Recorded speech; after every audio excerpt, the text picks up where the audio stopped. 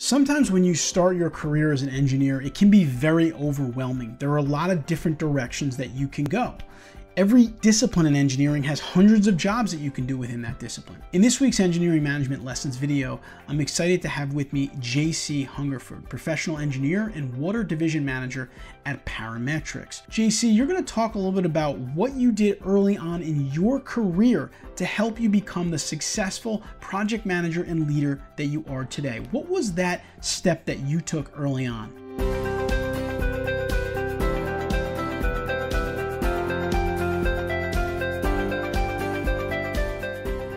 Yeah, early on in my career, I I really wanted to get as much experience as I could. So, um, coming out of school as a general civil engineer, I just kind of, you know, I said yes to a lot of things, whether it be uh, design, being a design drafter, all the way to construction management and observation, and uh, found a lot of value in getting out in the field, seeing how things are built, how they go together, and how to incorporate those into our designs. Uh, you know, as I came back to the office and started leading designs and managing projects myself.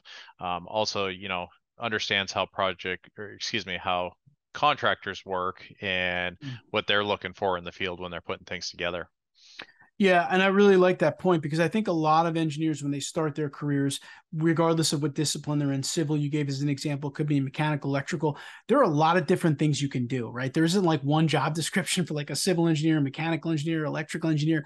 And the only way for you to really experiment and find different things that you like usually is to do what JC suggested, which is to try different things, go to your company and ask for different assignments. Some companies even have rotational programs, which is really valuable if you can get into one of those. Um, sometimes, even as an intern, you can do that. But JC, it sounds like that experience for you, some of the construction observation, being out in the field, continues to help you kind of to this day. Absolutely. You know, um, as I moved on to, you know, obviously larger tasks, larger projects, um, eh, how the contractor is going to approach the project for me is really important to consider when we're putting together large design packages. And um, then once we get to construction, uh, that's where there's potential for l- large change orders for our clients, obviously. So helping them stay ahead of those and mitigate those the best we can is really important because that's a real opportunity to show your value is, um, you know, reducing change orders. They're like budget overruns with our design budget they're they're going to happen but minimizing those is something i pride myself on. And so understanding how the project's going to progress through construction you can stay a step or two ahead of that contractor identify potential issues become before they you know have iron on the ground and it becomes a delay associated with their production. And you know the contractor is willing to have that conversation with you and work through it with you more times than not versus they're standing around, they've got a major issue and it's becoming really expensive really quickly for your client because they're the ones paying the bill in the end of the day.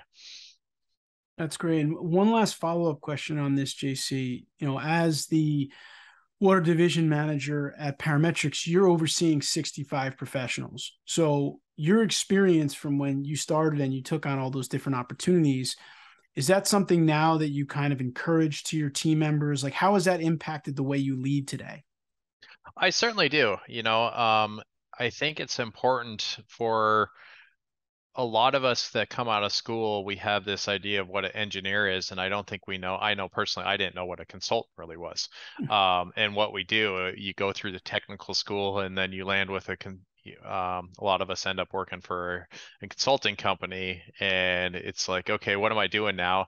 And so i thought i was going to you know do pump stations and things like that just because the university i went to carroll college uh, was mainly hydraulics based. And um, while I do some of that, I went out and got a lot of experience and uh, found a lot of different things that I'm passionate about just beyond, um, you know, water conveyance. So it's allowed me to broaden my perspective on the consulting industry, um, allow me to pursue other projects and manage other projects that I'm passionate about, and um, you know, deliver things for our clients that really help their communities and in the end make those communities better places to live.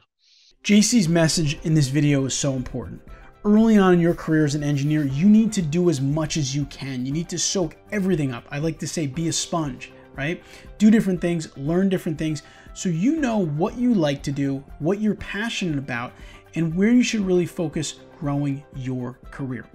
I hope you enjoyed this video. We put out videos like this on a weekly basis to help engineering professionals become better managers and leaders. So please subscribe to our channel here so we can help you engineer your own success. I'll see you next week.